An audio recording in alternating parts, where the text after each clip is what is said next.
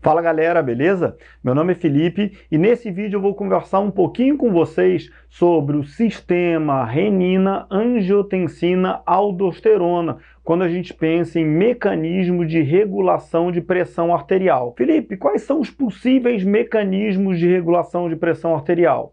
Quando a gente pensa em mecanismo de regulação da pressão arterial, na verdade eu tenho mecanismos neurais, ou seja, que são mecanismos que trabalham direto com aferência e eferência relacionados aos vasos e, consequentemente, geram vasodilatação e vasoconstrição. Qual é o grande problema dos mecanismos neurais? É que, assim como toda informação neural, essa informação, então, ela é sempre derivada de um estímulo que gera uma resposta. E essa resposta, na grande maioria das vezes, ela é derivada de uma informação ou de uma uma carga elétrica que viaja por um neurônio. Qual é a grande limitação então da resposta neural? É que essa resposta neural, ela normalmente é uma resposta rápida e eficiente em um determinado momento, mas ela não é uma resposta duradoura. Felipe, mas o sistema neural de regulação de pressão arterial também pode atuar através do sistema nervoso autônomo simpático e parasimpático, gerando então vasodilatação e vasoconstricção por hormônios, principalmente pela norepinefrina e pela epinefrina, que são hormônios adrenais ou hormônios produzidos nas glândulas suprarrenais. Também pode. Mas esse mecanismo, na verdade, é o que a gente chama de mecanismo neural de regulação de pressão arterial. O que a gente vai estar tá vendo hoje é um outro sistema, um sistema renal de regulação de pressão arterial. Então, o que, que a gente tem que ter em mente? Quando a gente pensa em função renal e está estudando os rins, a primeira coisa que passa a cabeça é que a grande função dos rins, então, é a função de filtragem. Felipe, o que, que significa filtrar? Filtrar significa, na verdade, tirar da corrente sanguínea alguns subprodutos. Mas nesse processo de tirar, ele seleciona quem ele vai tirar, quem ele vai deixar. E esse processo de filtragem é o que a gente chama de filtragem glomerular. Então, os glomérulos são as unidades funcionais dos rins que ficam localizados na região do córtex renal. Aqui então eu fiz um desenhozinho do rim fechado, mas no rim, quando a gente abre a região do córtex renal, é a região ou localização dos glomérulos. E quando esse sangue passa das arteríolas aferentes pelo glomérulo, então acontece o processo de filtragem.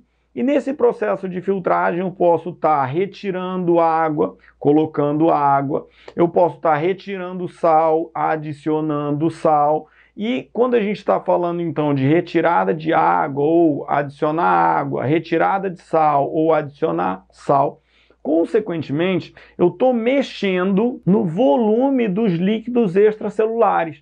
E é esse, essa alteração dos volumes de líquidos extracelulares é que vai ter como consequência as alterações de pressão arterial.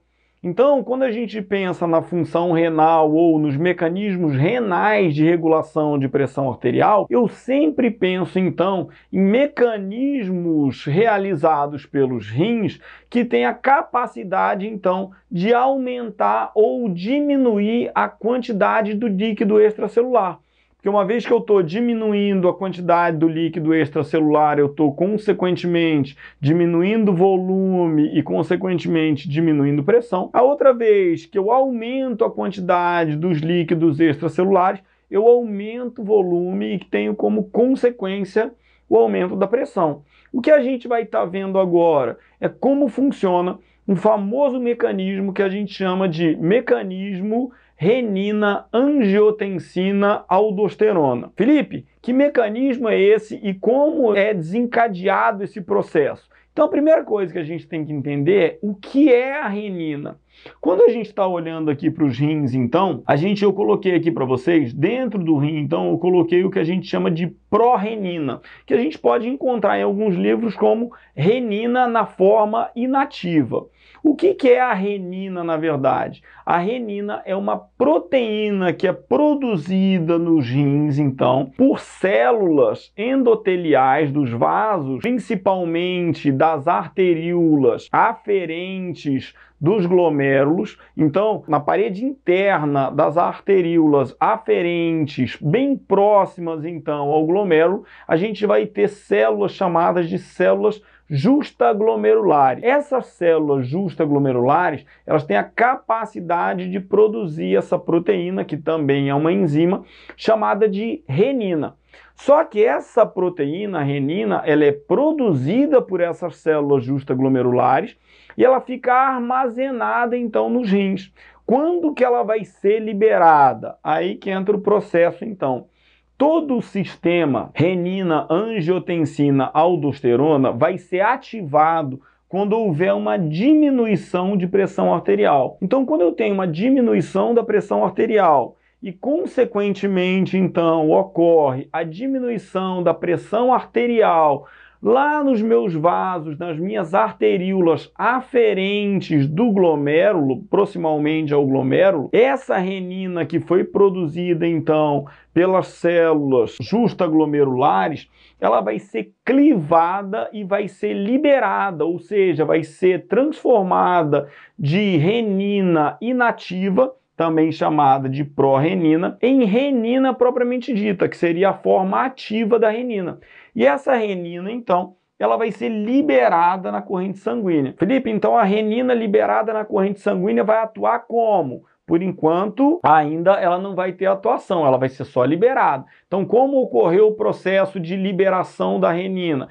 Então, a liberação da renina foi induzida por uma diminuição da pressão arterial. Então, a renina produzida nos rins pelas células justaglomerulares, só que na forma inativa, uma vez que houve diminuição da pressão arterial e essa diminuição da, da pressão arterial chegou então nas arteríolas aferentes dos glomérulos, ela consequentemente foi transformada da sua forma inativa pró-renina e através de um processo de clivagem foi convertida na sua forma ativa, a renina, e liberada na corrente sanguínea. Só que essa renina liberada na corrente sanguínea, uma vez na corrente sanguínea, ela vai encontrar uma outra proteína chamada de angiotensinogênio.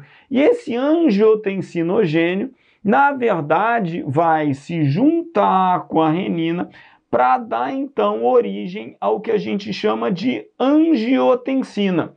Esse angiotensinogênio que é produzido no fígado e liberado pelo fígado, então, ele também é chamado de substrato de renina. Então, esse substrato de renina ou angiotensinogênio é liberado pelo fígado, enquanto a renina é liberada pelos rins. Essa renina foi liberada pelos rins uma vez que houve diminuição da pressão arterial. Quando os dois se combinam, os dois formam então o que a gente chama de angiotensina 1. Felipe, então já cumpriu o processo de renina-angiotensina na regulação da pressão arterial? Ainda não.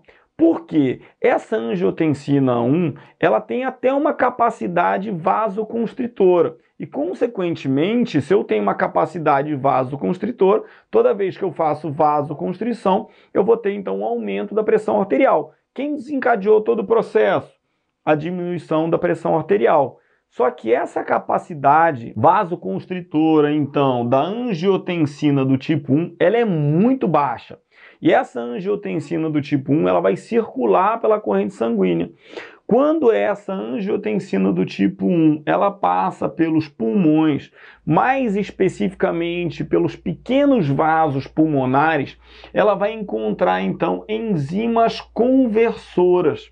Então essas enzimas conversoras, elas são pulmonares. Essas enzimas conversoras vão converter o que a gente chama de angiotensina 1, que nada mais é do que um peptídeo formado por 10 aminoácidos, e vão tirar dois aminoácidos desse peptídeo, dando origem então ao que a gente chama de angiotensina 2. Então lá nos pequenos vasos pulmonares, ocorre então a transformação da angiotensina 1, que é um peptídeo de 8 aminoácidos, em angiotensina 2, que vai ser um peptídeo de 8 aminoácidos. Como? Com a retirada de dois aminoácidos pelas enzimas conversoras. E aí então essa angiotensina 2 ela cai na corrente sanguínea. E essa angiotensina 2 é a grande responsável então pela indução ao aumento da pressão arterial. Lembrando que todo o processo então foi desencadeado por uma diminuição da pressão arterial. Só que como vai acontecer então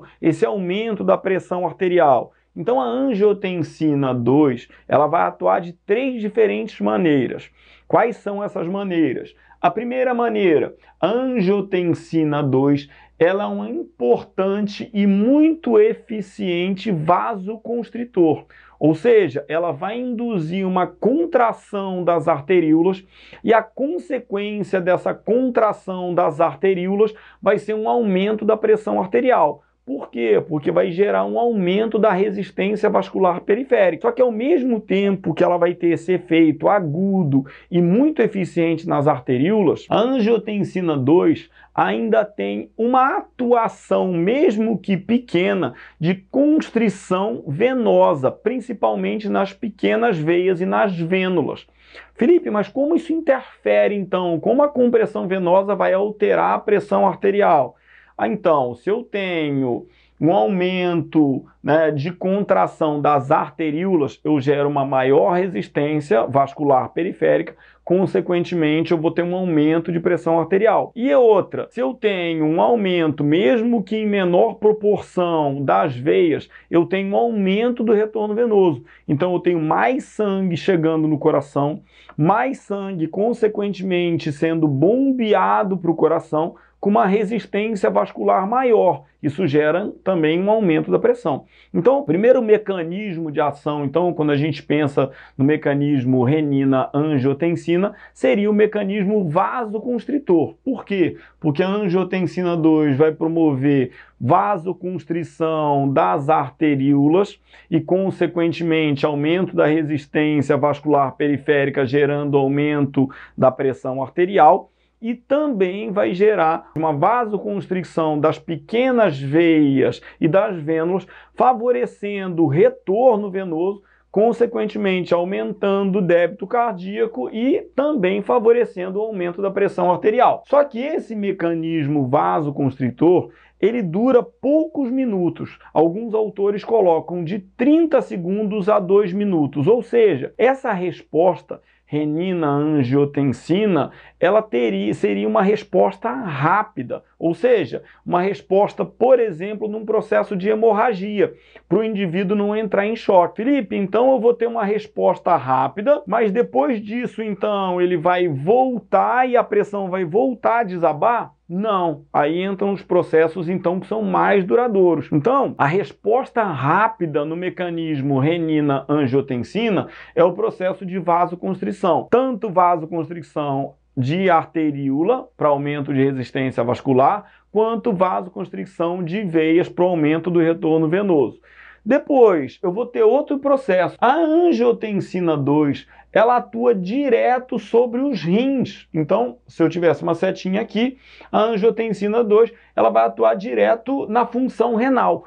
Como que ela vai atuar direto na função renal? Ela vai atuar diretamente na função renal, promovendo uma maior retenção de sal. E aqui a gente coloca maior retenção de sal e maior retenção de água nem precisaria colocar maior retenção de água. Na verdade, ele vai ter uma maior retenção de sal. Se eu tenho uma maior retenção de sal, eu posso dizer que esse líquido extracelular, então, ele vai ficar mais concentrado. Consequentemente, o que vai acontecer? Por diferença de concentração, já que eu vou estar tá fazendo a retenção de sal, eu vou por osmose estar tá puxando cada vez mais água. Então a gente fala que tem uma retenção renal de água e de sal. E a consequência dessa retenção de água e sal vai ser aumento de volume extracelular ou a manutenção de um volume extracelular maior e, consequentemente, então, aumento de pressão arterial ou manutenção de uma pressão arterial mais alta. Beleza? Só que essa manutenção, então, ela vai ser mais duradoura. Felipe, só isso já resolve o caso? Não. Eu vou ter que ter uma manutenção dessa pressão arterial por mais tempo. E aí entra então a função hormonal. Olha o que acontece então no nosso terceiro passo. A angiotensina do tipo 2 é a grande responsável pela indução à secreção de aldosterona. E a aldosterona, então, é um hormônio produzido pelas glândulas adrenais. Lembrando que os principais hormônios das glândulas adrenais são epinefrina, norepinefrina, aldosterona e cortisol. A aldosterona ela está diretamente relacionada com as concentrações de sais aí nos líquidos extracelulares. Então olha o que acontece. Uma vez que eu tenho uma indução ou um estímulo adrenal para a produção de aldosterona, eu aumento a quantidade de aldosterona no sangue. Consequentemente, quando essa aldosterona voltar a passar pelos rins, qual vai ser a grande função da aldosterona? Aumentar a reabsorção de sal e água. Felipe, mas você já falou de reabsorção de sal e água? Não, a princípio a gente tinha falado de um mecanismo direto que é retenção renal de sal e água. Quando você está falando de retenção, eu estou falando que durante o processo de filtragem, eu estou filtrando menos água e filtrando menos, menos sal, ou seja, retendo mais água e mais sal. Beleza? Agora, o outro processo vai ser desencadeado, então, através da aldosterona. Que processo é esse? Além de eu manter, ou seja, eu não perder água e sal, a aldosterona ainda vai aumentar a capacidade de reabsorver, ou seja, de colocar mais água e mais sal nos líquidos extracelulares. Consequentemente, esse aumento de reabsorção de sal e água vai promover um aumento maior ainda da pressão arterial. E essa resposta hormonal, ela vai ser uma resposta ainda mais duradoura. Felipe, por que uma resposta ainda mais duradoura? Porque a gente sabe que o hormônio, uma vez secretado, ele não é eliminado de forma imediata. Então aqui eu tenho uma resposta rápida, aqui eu tenho uma resposta rápida, não tão rápida. Né? Então essa resposta minha, ela vai ser de 30 segundos a 2 minutos, uma resposta ou uma indução rápida. Essa resposta minha, ela vai levar mais um tempinho, né? ou seja, eu vou ter mais de dois minutos, mas eu vou ter um determinado tempo. Que tempo é esse? Porque é tão importante esse intervalo de tempo? Para dar tempo, da, então, da minha terceira resposta, que vai ser, então, o estímulo adrenal. Ou seja, a angiotensina atuando sobre as glândulas adrenais ou suprarrenais, aumentando então a produção de aldosterona que quando cai na corrente sanguínea e passa novamente pelo sistema renal, promove reabsorção de água, reabsorção de sal e resultado disso tudo, então, aumento sustentado da pressão arterial. Felipe, mas quando a gente está estudando o sistema endócrino, a gente aprende então que a glândula hipófise produz um hormônio chamado de hormônio adrenocorticotrópico ou ADTH, que cai na corrente sanguínea e, uma vez na corrente sanguínea, atua estimulando as glândulas suprarrenais. Sim, exatamente. Ela estimula as glândulas suprarrenais e aumenta ou mantém o funcionamento das glândulas suprarrenais. Só que as glândulas suprarrenais não produzem só aldosterona. Então eu tenho uma manutenção da liberação de aldosterona, de cortisol, de epinefrina e norepinefrina. Então, quando a gente fala da regulação endócrina, ou seja, do eixo hipotálamo, hipófise, adrenal, eu estou falando de uma manutenção de estímulo adrenal e, consequentemente, de uma manutenção das minhas concentrações hormonais. Só que eu posso ter respostas que são agudas. E essa resposta aguda, então, ela vai ser desencadeada por outros processos.